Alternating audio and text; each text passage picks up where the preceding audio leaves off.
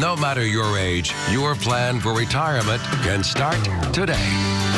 From the News Channel 5 network, this is the Retirement Report. Good morning. Welcome to the Retirement Report. I'm Hank Parrott, your host. All right, we're going to be talking about uh, managing taxes on your retirement income today. But one of the things I want to get into as well uh, has to do with what's going on in the markets, the volatility we're seeing this year, uh, year to date. So we've seen the, of course, the stock market has, is down. Though March was a good month, January and February were really bad months. So uh, we're still down year to date, uh, about five or six percent, I think it is right now. Uh, in addition, and that depends on which index you're following. If we're talking about the S&P 500 or the Russell, the small caps. Uh, but in addition, one of the things that uh, I want you to uh, also think about is bonds are down. So when you have interest rates, when Chairman Powell gets up and talks about uh, the Federal Reserve basically is going to raise interest rates, and as they did at their last meeting, we had a quarter of a per percent change.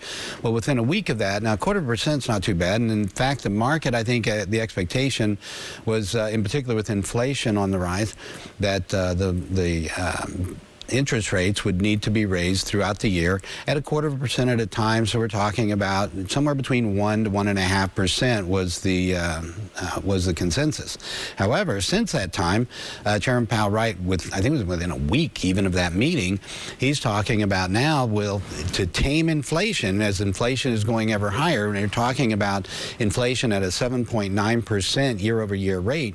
Uh, keeping in mind for it to be 7.9, that's like taking the average. That means means, you know, you go back a year and what it was in those initial months was much lower. And now it's actually, uh, I think the estimate is about 10% is where we're actually at uh, currently to get that average of that 7.9. Okay. So what does that mean? And, and by the way, if they were calculating inflation the way they did back when Carter was president, uh, if we had the CPI being calculated the same with uh, energy and food in there, then you'd be seeing more like 16% uh, as far as an inflation inflation rate. And of course, we're seeing that. We see it when we go to the gas station, right? And you got $5 a gallon gas, or you go to the grocery store and you see how little, how, how, how, how much those bags, you know, for a few bags, how much you're spending. So we, we see it in, in, in this cost going up, clothing, everything, of course, cars. Uh, we've talked about inflation quite a bit. Uh, so the concern is how do we, one, stay ahead of inflation and taxes, and the other is understanding what inflation means uh, when we get into policy. So the Federal Reserve is going to raise interest rates. They're saying to tame inflation, to get it back down where they want it, down in that 2% range, then they're going to continue to raise rates. And if they have to be more aggressive in raising rates, they're prepared to do so. And he said that, you know, we can go up in half point increments, half a percent at a time, and maybe do that four, five, six times this year. So all of a sudden we go from one to one and a half percent interest uh, interest rate increases to two, two and a half, maybe three percent even interest rate increases over this year. There's a lot of concerns that come into that. I've had Phil Kosmala on has talked about that uh, recently, and, and one of the big concerns, of course, being that if they get overly aggressive, there's a, a possibility that you could tip into a recession. And of course, with recession, we get more concerned about bear markets. They typically go together. Uh, so there's a lot of, of concerns and ways that you want to be thinking defensively. How can you protect yourself in a potential down market, but also when it comes to bonds, as interest rates go up, bond prices go down.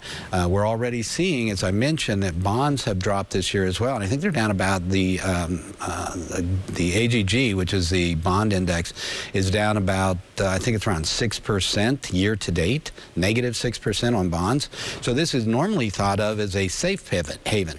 This is where you go to where you put money right in your stock and bond portfolio. You may have a, a typical say 60-40 portfolio portfolio and 40% being in bonds to help protect yourself against volatility in the stock market. But when both are down about the same, well, actually bonds are down even more than the S&P, I think, year to date. So you, you have to start thinking a little differently. There's a research piece I have from uh, Roger Ibbotson. He's an economist. Uh, he's known for uh, his stock bonds bills and inflation chart lot, you know, uh, tremendous research with regard to the fixed uh, market in particular in bonds. And he talks about fixed index annuities beat out bonds over the long term. And basically how you can in particular with interest rates on the rise, this might be a time to take a look at your portfolio and say, maybe I want to move some of those bonds into fixed index annuities as a way to uh, reduce uh, the risk, both reduce volatility as well as uh, increase and improve your returns. And again, if you'd like to get more information, you can call my office. We can get you this research piece. We can send that to you. Uh, there's another report uh, that was done by uh, Morningstar, and this has the rules of retirement spending changing. And this talks about um, the distribution rates from your uh, retirement accounts. And this is a key piece as well. So if you'd like any of these research pieces, uh, just call my office again, 615-376-5325, and we can get those out to you. All right, now I'm going to be talking today about managing the taxes on your retirement income. I've talked about this before on the show. I've shared this, uh, this report from the Nationwide Retirement Institute, but a little bit different take on it today, in particular with what's going on in the markets and as I mentioned, in particular with bonds and inflation and rising interest rates, and how much more important than ever it is when you're getting into tax planning, how to understand how these factors would uh, factor into uh, your retirement income planning. So let's start with the first one. It's on uh, today's agenda. This is, again, the um, uh, managing the taxes on your retirement income from Nationwide Retirement Institute. So one of the things when you uh, go into retirement is thinking in terms of how can you, of course we want to minimize taxes anytime, right? But how can we even more so build a retirement, an efficient, tax efficient rather, retirement income plan for our retirement. So you can start that at any time, in fact, with uh, the way you, we're going to talk about asset location, for instance. And this is a great way, no matter how far out of retirement is, that you can start thinking of ways that you can better prepare yourself for tax efficient income pre-retirement as well as in retirement. And, and, in particular in retirement when those wages go away. So let's take a look at uh, today's agenda. This is the first slide uh, on uh, taxes. Your tax basics is what we're going to cover first. And this is uh, basically understanding the progressive nature of our tax system and how you can use that to your advantage, how advisors, planners use that to help their clients basically get a better, we keep more of your money in your pocket. When you think about it, it's a, you know, when you think about investing, you want to, you want to manage your risk. When it comes to taxes, you want to manage the tax risk as well. Understanding the system is the first start. So we're going to talk about the tax basics, then the importance of diverse retirement income sources. And this is what I'm talking about, tax location. And then, uh, of course, managing the conversation with that as well. So let's start with the next slide. And this one is on the tax basics basics, uh, understanding first off, there are two kinds of taxes.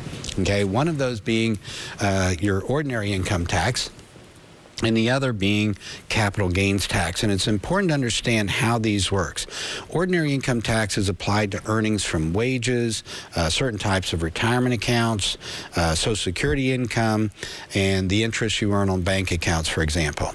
Capital gains tax, on the other hand, is applied to investments. You're only taxed on the gain or increase in value from when you bought it to when you sold it. So now in certain circumstances, the profit from selling your home, for instance, can be subject subject to capital gains tax. Now, we're going to get into more detail about that and what the exemptions are and how much. So, for instance, it's not very common. You don't really typically see that. A married couple, as an example, has a uh, $500,000 exemption from capital gains tax. So if you bought a house for 300,000, and of course in this market it could, you know, if that was long, many, many years ago, that could be worth double easily, six or even triple that, 900,000. So you look at what you paid for it, any improvements you've made to it, okay, so that's adding to what we call your cost basis, and then whatever you sell it for, over what you paid for it and invested into it, you know, improvements, uh, that difference is your capital gain.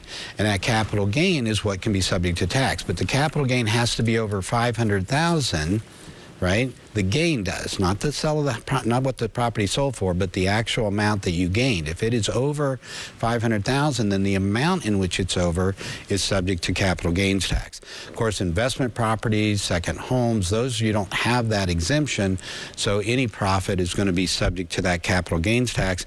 And again, we're assuming that long-term capital gains are treated differently than short-term capital gains. So we're, we're going to talk about the benefits of long-term capital gains, specifically and this can come from investments, by the way, stocks, stock mutual funds, uh, most some bonds as well, uh, as well as profit from selling real estate.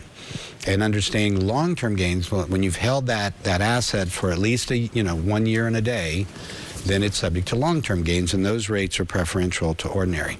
In fact, let's look at the ordinary income tax rates on this next table.